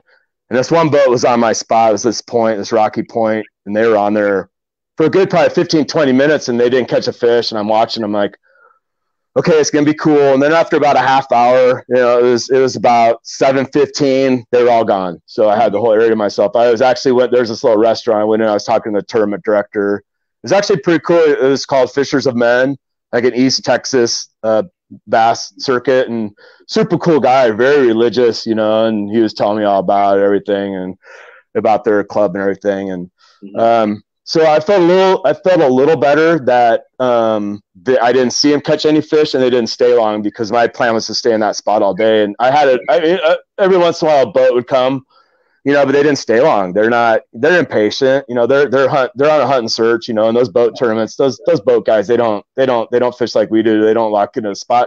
Obviously, because they have an advantage, they can move like they can go, you know, 50 miles in you know no time at all. It would take us two days to go 50 miles. You know what I mean? Yeah, yeah. So like us in the kayaks, we really have to. That's a big part of our plan. Is like how much ground can we cover? How much ground do we want to cover? And for me, I want to cover as little ground as I can. Um, if I can do it, I will stay in a 20 foot space all day if I can, and I do that a lot. You know me. I, I'll like it. Wanahoo, yeah, Wanahoo. Yeah. I don't move. I stay. I pretty much stay in that same spot, and I'll. I, I've won it, you know, a couple times just sitting in the same spot, peppering it, you know. But um, yeah, so to answer the question, yes, I ran into a 60 boat, yeah. 60 boats at my ramp, and I was the uh, uh, and I was the only kayaker there. So yeah, it was agonizing, about an agonizing hour and a half. But yeah. yeah. Okay, so then one more is they want to know. Troy Inky wants to know about your kayak setup and how it helped you fishing in those conditions that you faced. Was there anything different that you did? No, it's not. It's no, not the kayak. I mean, no, I mean, I have heaters in it. Um, I have a. No, I'm kidding. Um, I do in mine. I have a heater in mine. I, I've tried. I mean, I had the hand warmers. No, I, I tell you what, it's just. Uh, I, I love. Uh, so I know that a lot of the Missouri guys fish out of the old towns. I don't know. I've never fished out of an old town, so I don't know how hard they are to keep you know, in the same spot. But I'm I don't even think about it, man. My feet are doing their own thing. My feet and my hand is like they're, they're they're on their own. My feet and my hand are doing their own thing. You know, while I'm fishing, I'm not paying attention. I'm. Mm-hmm. I, it's kind of weird how my body works like separately when I'm in my kayak, but no, it's, it's so so Troy. I fish out of a you know a pro angler 14 foot man, and it's it's mm-hmm. it's really easy to keep straight. You know, if you know what you're doing. Um, but I mean, it's hard. You know, I'll get off course every once in a while. I mean, it takes a lot of work in those winds and the rain to stay to stay in the position I need to. But mm-hmm. I'll take breaks every once in a while. I'll, I'll try to you know, finesse fish for an hour and then I'll, I'll drift back, you know, so I'll keep my, my nose at the rocks and I'll drift back and I'll throw a different bait. I'll just chuck up a crankbait or a square bill. Mm-hmm. I'll drift back all the way to the spot and then I'll start over face into the wind and just, you know, just little chit, chit, chit, chit, chit, chit, chit. Um, you know, I've been, I've been, I've, I've been using the pedal drive for what, like five years now. So it's just like, yeah. It's second nature. I'm pretty i don't want to brag or be you know a, an ego person but i'm i'm pretty good at controlling the hobie without an anchor or anything you know just you just get used to it you know you fish so much with it it becomes kind of second nature. So so i'm gonna go back a little bit back back in the days when we had the old nefga forum. Okay? And i was way out west and i was putting pictures on there of these bass and people were going who is this guy that's a freak in this plastic little kayak thing. And then there was you out east, and you were your name on there. Of course, I put Kayakjak for my name, and you put for your name Kenai King. Where did Kenai King come from, and what does it mean? All right, good question. So it's so you pronounced it wrong. Oh, Yeah, so it's actually Kenai king. Kenai king. So, so the word Kenai, uh, it's Kenai River in Alaska. It runs uh, through Soldotna, Kasilof, um, and runs into the Cook Cook Inlet um, north of Homer, okay. Alaska. So I, am very fortunate and blessed. I fished in Alaska, I think three times, two or three times. I don't remember. Um, and actually, right behind me, above my head, is a Kenai King. Um, what what the Kenai King represents to me is is is nastiness, fierceness, powerful, never give up. Um, it is the most badass freshwater fish I have ever tangled with in my life. The tail fin is like that wide. When I hooked into that one behind me, it, you know me, I'm a huge catch and release guy, but um, when we were there, that's all we had to eat. So I utilized I utilized every single thing with of that fish, including the skin, which I mounted. So I ate that thing. I mounted it. I did not waste any one bit of that fish, but I mean, it was going to die anyway. It was coming up to spawn. Yeah. so, yeah. but more importantly, you know, uh, the Kenai King, you know, represents this is the mean, nasty fish. Yeah. yeah. Um, never give up, powerful. But more importantly to me, I mean, it represents, it was the last fishing trip I took with my dad. Oh, uh, my dad died. Yeah, my dad died like a month later after my last trip with him. It was, uh, and it was really the the the first time he was able to see who I really was, you know, because growing up I was just a little rebel hippie punk that kind of just a little just a little dick, you know. I, I, he he my dad was a jock, I was a little hippie, you know. It was it was uh um there's a lot of battles with that, you know. He didn't like the route I was going and yeah. he wanted more for me, so I, I was able to prove myself. Thank God before he died. I started my business I think two years before he died, and we did these trips to Alaska and my dad wasn't a very uh, into like environmental stuff, you know, and you know he was a jock, and he he was a great guy though. That's where I get all my giving. My dad my dad mentored a lot of people. You know, he was a football coach, and uh, he took he actually adopted uh, um, one of our students who lived with us my senior year. His name was Kenton, and he's actually my you know he's my brother from another mother, but yeah. Uh, my dad was the most generous guy in the world, you know, and, and, and if you ask, if you could go into Omaha and say his name and everybody knows him, my dad was bigger than life. But anyways, on this trip, um, we were fishing the, uh, we flew out to the Cook Inlet and we were fishing for silvers. Um, and I was with a bunch of like weekend warrior guys, you know, they didn't know how to fish and we're, we're, uh, drifting eggs and you couldn't really, it, it was weird. So these, these silver salmon were 15 to 20 pounds, just massive salmon but they bit like a bluegill. It was the weirdest thing ever. So you, it was really hard to detect a bite. And the guys I'm fishing with, they don't know how to fish. They didn't. They'd be like, "Oh, I got a fish," you know, and it, excuse me, and they were swallowing the hooks. so, you know, when I, I catch them, they weren't swallowing any of the hooks. I mean, I was like mm-hmm. zoned in, super watching it. You know, anyways. So at the end of the day, you know, there's there's bears everywhere, and the bears wait for uh, you to leave, and then they eat the fish that you clean. So we caught all these, all the silvers, the guide. I was helping the guide. Well, before that, I had a bear come about uh, five feet behind me and literally about crap my pants. It was a, it was a juvenile brown bear, uh, and it was trying to test. Yeah, no, it was, it was pretty scary, man. It was trying to like chest itself against me because I was on the end of the line. Um, there's like six guys, and I was at the far end. The guide was at the other far end, and uh, this bear was literally like five feet behind me. He, I felt him like breathe on me, and I turned around and I about shit my pants. And the guide like yelled at me, "Don't, you know, don't move. Put your arms up. Make yourself look big." And he had this 357 Magnum, you know, with a barrel on it. was probably about a, a foot and a half, two foot long. He's waving at it, screaming at the bear, and I'm just like shitting my pants. Excuse my language. Sorry. Um, and uh, the bear kind of goes and it, it got down and left. And I'm just like, oh my god, what just I just about died. I, I'm like I'm, I can't believe I'm alive. Thank God, I just got almost got torn to shreds. So, anyways, the Bears, they're the, the smart Bears. They they're not messing with you. They know that they're going to get fed as soon as you leave. So they're all waiting. You know, there's probably like 30 Bears all around us is waiting for us to leave. So we clean all these silvers, you know, and and uh, a lot of them are gut hooked. You know, I'm thinking these bears are going to come up here and eat all these fish, and they're going to get hooks in them. You know, that's not cool. So everyone's leaving. You know, these guys I'm with, they're not. They don't. They don't care. They're not. You know, some of them I hate to say it, but they're not very. You know, they'll they'll go out shoot a bunch of birds, and they'll be like, mm-hmm. "You want my birds?" And I'm like, no, you shot them. They're your birds. You could, well, I don't want. Why are you hunting? You know, you, yeah. you shoot a shoot. You eat it. You don't like shoot a bunch of birds and just give them to people just because you like killing things. You know, you know, be responsible. Keep your birds and eat them yourself. You know, no, I don't want your birds. I'll shoot what I want and I'll eat it. You know, but anyways, um, so a lot of these uh, carcasses had a bunch of treble hooks in them. You know, and and I didn't want the bears to come eat them and get hooks, but nobody else cared. So here I am on the ground on the sandbar, and everybody's like, "What the hell are you doing?" You know, and everyone's like, "Go, come on, Andy, it's time to go." And I'm not, I'm just like, just you know, shut up. I'm gonna, I'm gonna get all these treble hooks out of these fish. I don't want the bears to eat treble hooks. That's kind of, you know, lame. Mm-hmm. So I do that. My dad's kind of noticing what's going on. You know, my dad, uh, we kind of talk. He's like, you know what? That I, I didn't realize that what you were doing there, and you're taking the treble hooks out of the fish so the bears wouldn't get them, weren't you? And I'm like, yeah.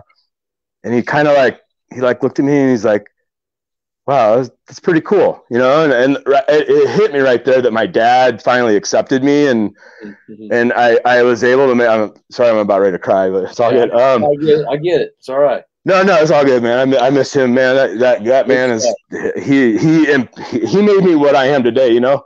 Yeah, um, absolutely. Um.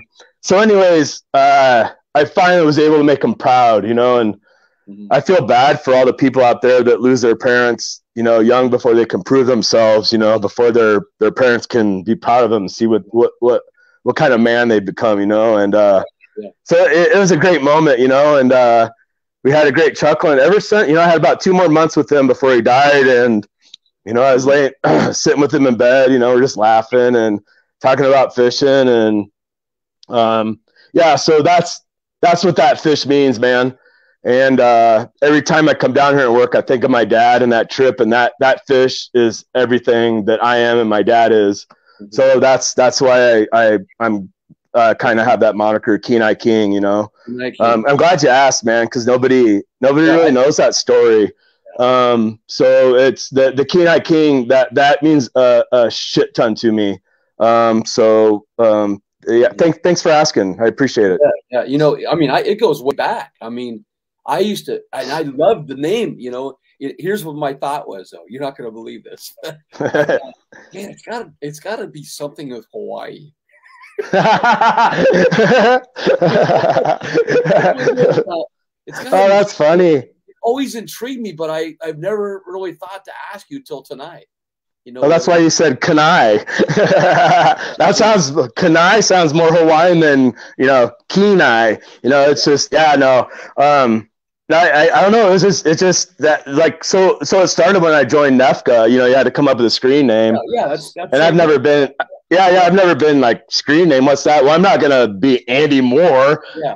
Because nobody on there was their name. It was all like these cool names. You know, I'm like. Name, yeah yeah, yeah, I had to have a name. So I, I'm like, okay, what's my name? I mean, I like Bassman or, you know, or, or, you know, whatever. And then I was just like, Kenai King, you know, but, but then it, it kind of rubbed people the wrong way because people thought I was like an egotistical little narcissist because of, cool. yeah. well, I, some people did because a king, you know, you're a king. I'm like trying to explain, no, it's a, it's a fish. It's a, it's a king salmon, you know, and and uh, a king salmon, but the Kenai king salmon is a different breed of king salmon. Uh, the Kenai king is the most badass salmon in the world, hands down. You can ask anybody in Alaska or anybody in the United States that knows anything about salmon fishing that the the, the, the salmon in the Kenai River are a different breed, and the and the king salmon in the, in the Kenai River are they are like a badass. I mean, I've caught flathead, I've caught yeah. blue, I've caught, I've caught tuna. I mean, I've caught so many different kinds of fish, but that fish right up there. Gave me the most incredible fight of my life. It took drag off of my line going up current in about a six mile an hour current, pulling drag. And uh, I will never forget that fight, man. That was the I literally I was the only one I would so so here I'll, I'll show you the lure real quick. Okay yeah, we might, for you those that are still out there, that are still awake, uh, well, we might be the only ones awake. So, so this is the lure. This is the lure I caught it on. It's a quick, yeah, it's a Kwikfish.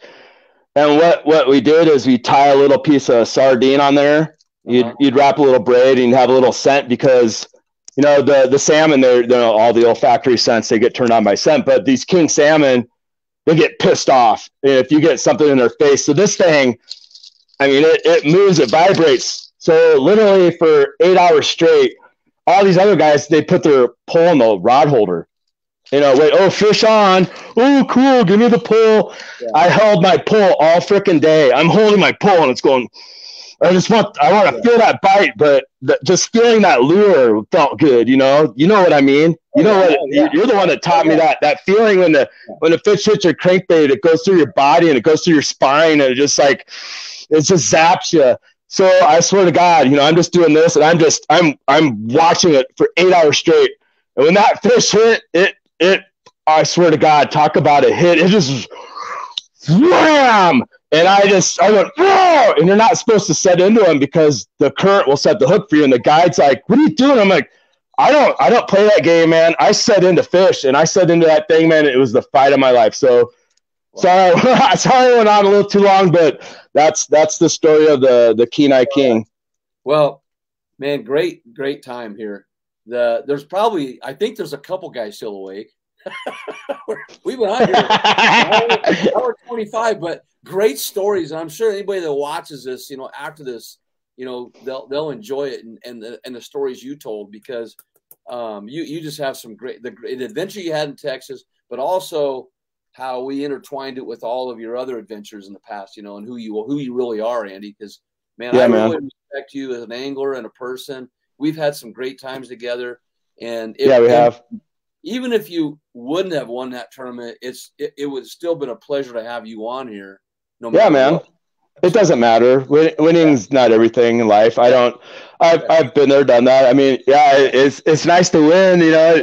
Yeah. like I said, I've had a I've had a pretty big drought the past three years. I think the last time I've won anything was 2008. I, I won like a Omaha event, like third place, you know, or something. But I think last time I won was anything big was uh, um, uh, 12 mile in uh, 2019, yeah. I think. Yeah, yeah, I think that's the last time I actually won. So it's yeah. it's been a while, man. Yeah, we all like to win. You know, that's that's kind of why we do it, or is it why we do it? You know, I mean, it, it's kind of the it's the it's a sprinkling on the top. You know, it's not everything. Winning's not everything when we do this. You know, I do it for the adventure, for the friendships, for um, I just love fishing, man. That's that's that's who I am. Yeah, same here and we've probably both done it since we were little. I know I have. And, and uh, one or two years old. Yep, I was catching bullhead when I was two. Yeah. So anyway, uh, I know that uh, you know you, you you fish a lot. Do you have anybody that uh, kind of supports you besides yourself on this fishing endeavor? Oh, obviously my wife. I mean, she's my best friend. I've been with her since I was. we're. I, you're not gonna believe this. I this so this is a crazy story. I mean, since everybody's gone, it's just me and you. It doesn't matter. But there's still a few people on here. so I had my eye on my wife when I was in kindergarten. um, we had we did a trip down the Niobrara in these canoes, and I saw this girl. I'm like five years old. I'm like, she had this Dorothy Hamill haircut. You know, I was like she is so so cute, you know. So the whole way home, I'm in the we had the old station wagon, you know, in the the back seat. It faced out the back. I had the same yeah. thing, yeah.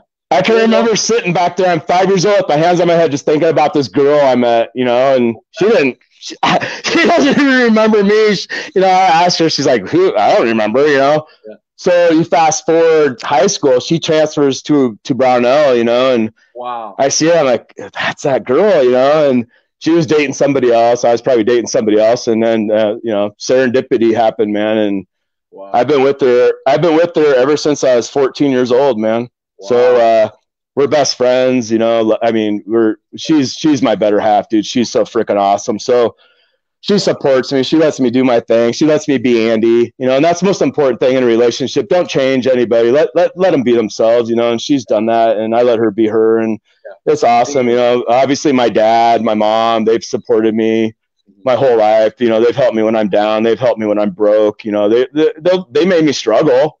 Mm-hmm. You know, they, they'd never let me starve, but I tell you what, you got to struggle a little bit in life to. Uh, um, it, it does help you to struggle. You know, it makes you stronger. Absolutely. But uh, um, some, of these, some, of these, young guys that are getting into this, maybe this is a it could be a message for them because you and I have both we, we admit we both struggled when we were young. Oh, we had to get through every all the time. Yeah, no, I mean world, I'm in today's world. you know, yeah, it doesn't seem like the struggle is as is as tough as it was when we were kids. But we don't know. I don't know that, and you don't know right. No, you know. I mean, I'm. I, I yeah. No, honestly, I'm fine. I mean, I'm. I've had my head below water for 50 years. You know, I, have struggled. You know, I'm finally the past couple years, I'm above water yeah. for once in my life, and it feels good. You know, that's why I was kind of paying it forward a little bit. But um, obviously, you know, my parents, my family, my friends, and then obviously Mike and Don at Select Salem Sports. I can call it Mike. Hey, Mike, I need help, and he's Johnny on the spot, man. It, yeah. They're they're they're such a great asset for oh, us here in Omaha. Oh yeah, yeah, they're absolutely. they're awesome. And then you know you, you know all all the OGs, all the all the guys I fish with. I appreciate the competition. You all made me better. You know, um, Workman's, Francis, you know, all those guys, all the Nebraska, Nate, all the all the good sticks in Nebraska. I've learned so much from them. You know, everyone has different yeah. styles of fishing, and then I've kind of picked up a little bit of everybody's style. You know, you, I, I, I did buy some Neko stuff, so we need to talk. I'm, I kind of want to try that. I mean, it looks fun. I bought, I bought some of the heads and the hooks. I bought some of the the little rubber bands. I might try it. I bought, I bought these really cool. They're called Megabass bottle shrimp. Uh-huh. And I'm gonna try a, a, a Neko on those. They look like they'd be really cool in the water with the Neko rig. Yeah. So I might I might fiddle around with that a little bit, but yeah. you know, everybody. I, I, appreciate all the anglers. I learned so much from everybody, you know, and, and don't, you know, even the young guys, like the guys first get every because they have a different way of looking at things. They have a different way of fishing. Mm-hmm. And I embrace it all, man. I take it all in and I, I, I apply all that, you know, you can't have enough knowledge in fishing, you know, it just makes right. you better. Yeah. I mean, I, I'm in my shop back here a lot and I, I hook my phone up to my flat screen in there, watching YouTube videos, watching Bass University, things like that. All the time. Yeah, just yeah. constantly trying to pick out one or two things. The one thing I want to say though about the young guys is it's it's okay to struggle. It's okay. Oh, You're going to be better for it. It makes you better. You learn you learn more when you lose than when you win. Absolutely. Yeah. At, at, end of story. I mean, you have to struggle. You have to lose. It makes you hungry. You know, you learn so much more when you lose. Like when I win, I say I won this last one. Yeah. I didn't think of anything. Cool, I won. Yeah. When I lose a big tournament, what did I do wrong? What am I doing next time? I'm I'm I'm studying. I'm I'm fishing again. I'm working hard. I'm I'm busting my ass. But like this last tournament when I won, yeah. I didn't I didn't learn anything. You know, I won. But no, no, you struggle. If you look at all the great fishermen like Kevin Van Dam, Rick Clunn, especially Rick Clunn, you know, they don't. If you look at how many tournaments they've won, they really haven't won that many. You know, uh, compared to how co- compared to how many tournaments they fish, they fish thousands and thousands of tournaments. They maybe won like five times. You know, it's not. Yeah, and, and, and it's it's a perception like these guys like they go out and win every time. You know, they don't. They have streaks. You know, like uh, Feeder or Feidler or whatever his name is, the that smallmouth yeah. dude, the real skinny dude with the long hair. He's on a streak, but he's going to struggle. Look at Mike Iaconelli; he's struggling. You know, it's just yeah, it's up and downs, man. You got you got to ride the wave when you're high, and you got to work harder when you're low. You know. One and one thing, you know, Coach Weeks here at Beatrice, legendary coach for basketball. When he would win by six or by five, by the way, they they had the longest winning streak in the nation until this year, 67 games in a row. Wow. Four of four of the five losses, no, four of the, yeah, four, four, four of the six losses in five years, four of them were overtime. One of them's the longest game in the history of the state, six overtimes at four minutes each. And then is this basketball? Basketball, and two. Oh wow! Yeah, two of the losses are by one point. But oh my gosh, win by six, say, or by five, he would treat that as a loss. And yeah. practice telling the guys, you know what, we lost that game. Yeah. what? Yeah, what? we better than we did. Yeah. So they had that mentality of, you know what, we got to win better than this. Be- yeah. Win, not by more, be, be better than we were. Before. We have to be better than that. We we should win by more because we need to be better than that. No, that's a great that's a great message. No, that's a great message. And that's that's a that's a great message for young kids. You know, don't don't settle for don't settle for mediocrity. You know, Absolutely. you can yeah you you uh the, the you're especially kids man their potential is like way more than ours. You know, we're we we've been there, we've done that. We're we're I, I wouldn't say we've reached our peak, but we as you get older, you gain so much knowledge and you you become really wise. And I mean, we I, I still learn every day, but we're we're uh, we're eons beyond the younger generation as far as knowledge and stuff. But that's how he gained it. it is from from coaches like that and mentors like that and lessons like that and learn learning situations like that you know that's how we all become a, a whole person and i'm just glad my son was able to be part of that you know it's just so cool to see that that's awesome yeah he turned out to be a pretty good little athlete i've he's a good little basketball player man that's that's awesome that's so fun to, that's such a great part of life my girls were were really good at softball man and i that was probably one of the best best times of my life was those softball games and traveling and and watching them do really good and watching the hard work pay off. You know, they'd hit a home run and you'd be so proud because they worked their ass off and they finally get rewarded for their hard work, you know? Yeah. And, and by the way, and not, not that we're talking about basketball only here, but two of the guards on this year's team were stood on the sidelines the entire practice as freshmen. You know, right. And they stuck it out. That's the other yeah. thing. If you're a young guy, stick it out. Stay with stick it out. you're doing. Yeah. It'll come. Yep. It'll fruition will come through now. And one of those guys is like the leading scorer on the team now. Right. And that, yeah, that's awesome. Never give up. Yeah. Never give up. Yeah. Stay with that. And, uh, you know, and we could tell story after story on that, uh, with that. And that's when we're on the campfires, these young guys are, that's what, that's the stories we can tell to them, you know, and then they'll be able to tell those stories as well. But there's no, like, yeah, there's yeah. no shortcuts there's no instant success. You have to absolutely not. And that that's that's the problem with today's world is that instant gratification. It's the internet. It's the it's ruined us. I mean, I tell you what, the internet has ruined this world. You know, I mean, it's it's a good thing. I mean, I it's I use it obviously in my business. Yeah. I research. I used to go to the library. I used to go. Yeah. I used to go borrow my mom's world books. Yeah. You know, to, to look up pictures. I had to go to the library to research, and now we have to research a project I have to paint a mural of a Italian vineyard. All I do is Google Italian vineyard and all these pictures come up and I can paint it, you know. So it's absolutely watch this. So so this is here we go. Ah, if I can get it out of the bookcase. oh wow! Oh, dude, we should write. We should write our own. That's before the internet. You know, you yeah. You oh, really? Oh, that's freaking that's freaking awesome, man. You I might have I might have to get me one of those. Yeah, that's that's what we're missing. I mean, that, that's what we're missing these days in this world is like, you know, sit down and read. I read. I mean, I read every day. I read all the fishing. I get the Bassmaster. I read. I read uh, In-Fisherman. I read all that stuff. Oh yeah, I just I just picked up that one I just picked up a book. Um, who's the what's the guy that the monster that hunts the monster fish? He's like the oh, yeah, he's like a British guy. Yeah. Yeah, I have his book. It's called it's called Think Like a Fish. Think like a fish. That's pretty. I'm gonna get that. Think like a fish. Yeah, get it. It's I, I've started reading it. It's it's really cool how because if you think about it, that's kind of what we do. You know, we mm-hmm. have to think.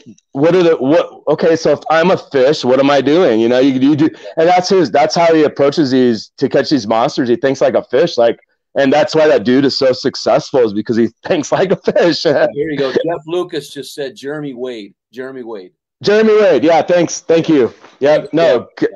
Yeah thanks, Jeff. Yeah. So anyway, let's wind this down we we've got a record show, uh, hour thirty seven minutes, maybe hour thirty eight. But Shit, we we could go on all night, Marty. Good, good you want to talk about my crappie?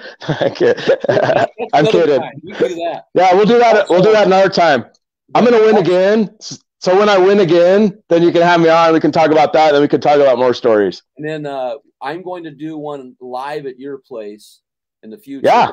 About your, oh. your man cave. It's going to be a oh, man. Oh, that'd be yeah. Yeah, dude. Yeah, that'd be awesome, man. And we could do one live at, at the lake too. Yeah, absolutely. Yeah. Well, any, yeah. Any, we have internet. We have a Wi-Fi. We have Wi-Fi out there, so you can Usually, set yeah. up shop on the deck with the lake behind you, and yeah. that'd be pretty cool. And start talking. Yeah. But yeah, it's been a while since you've been there. You need to you need to get up, you get back up here and fish. I'm going to be fishing on Friday and Saturday, maybe Sunday a little bit. Uh, but I, it's gonna, it's gonna be. Ep- I'm gonna tell you right now. I'm gonna, I'm gonna just, I'm putting it out. You know, I'm up there with the bat, pointing and going. The wind's gonna be out of the south on Friday at 30 miles an hour. It's gonna that warmest water is gonna be on the north shores. Nice. It's gonna be loaded with bass. So I should go to Burchard. I'm not going to Burchard. Pony Creek. No. Duck Creek. No. Okay, well, the, I might go to Birch. Are they is, are they open now? It's they got to be getting open uh, down there. Should be open. I'm gonna I'm gonna t- I'm going to Verdon. I'm gonna go to Verdon. Oh, Verdon. Yeah. Oh, cool. Well, so, maybe I'll see you there. Yeah, yeah. to join me. But that's going to be. I, I actually, I'm. I think my son might go to Pony Creek. I might go down there and try for some wiper. I don't know yet. We'll see. We'll see. We'll see what happens. Yeah, and who knows? I may end up down that way. I don't know, but uh, I, I, I, I just want to kind of get my stuff ready because I'm going to go yeah. to Taneycomo into the month. Uh, okay. For the first uh, Moyak Series One. Oh, cool. So you um, haven't you haven't fished a tournament yet this year? Oh yeah. No, I'm in. I'm okay. in online. I'm in a KBF online. Okay. Got to qualify for the KBF this fall. Oh, cool. Because I can't hit any. I can't hit any live ones because of my job right now. I can only get away so much, and right. Uh, you know, I, I could probably. Well, hey, I don't want to hear the crying. You're a teacher. You got all summer off, buddy. So yeah, don't don't be playing that card, cry yeah. baby. Uh, my dad, my dad always said you better be a teacher because you get you get fish all summer. Yeah. And I should I should have taken his advice, huh? Not as a principal, you don't. Oh God, no! I can't babysit. I would have been a good art teacher. Kids would have loved me. You'd be a great art teacher. I would, man. I, I honestly, I, I'd still, I might. Oh, I'm going to write a book. I'm going to write a book about all my, you know, the, the secrets to decorative painting, and I'd love to teach. You know, I might do do a class at Metro or high school or, or oh. college. I, I would love to, you know, because I, I, I, I mean, I got a lot. I got a lot to offer. So yeah, that'd be that'd be fun. Well, with the shortage that there is right now, if you can breathe, if you can breathe, you're a teacher. yeah. You probably have a job. Yeah. Right. I don't. I don't know if I could deal with the kids these days, though. They're not. They're not like they were 20 years ago. You'd relate to them well. Yeah, I would. They'd, they'd respect me because all I'd have to do is smack them in the face. No, I'm kidding. yeah. All right. Well, Andy, thank you. Cool, so man. Much. Oh, dude, that that was that was a blast, man. It's great, great talking to you. I love running into you. I love fishing with you, and uh, hope to see you soon, brother. Okay, all right, you too, and, and congrats again, man, and for all you do there. Tell your wife hi, and and I'll, I will. I'll, I'll probably look you up tomorrow though, really, because I might. I'm dude, yeah, I, am working. I'm just I'm working in my studio tomorrow. I'm painting a bunch of chairs, so I'm down. I'll be down here with my Kenai King painting a bunch of chairs. So give me a shout. All right, I will uh, message you. So cool, man. All right. Take care. All right. Late. Bye. bye.